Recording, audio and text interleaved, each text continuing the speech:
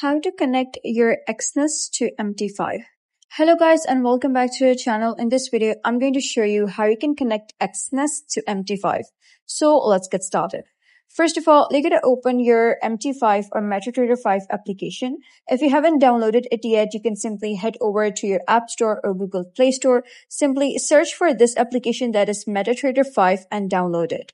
Once you do so, you're going to create a demo account and you'll be able to see something like this.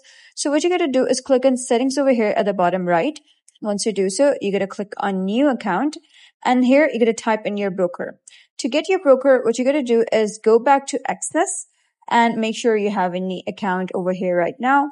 So what you're going to do is this is the account over here. You're going to click on these three dots over here and you'll be redirected to the settings. So you're going to click on settings over here, scroll down and here you'll be able to see your credentials, your login details and server. So you're going to copy your server and then go back to MetaTrader 5 and then paste that server over here. Click on search and this is Exness Technologies Limited. You got to click on it and make sure you have the same server over here, just like this one.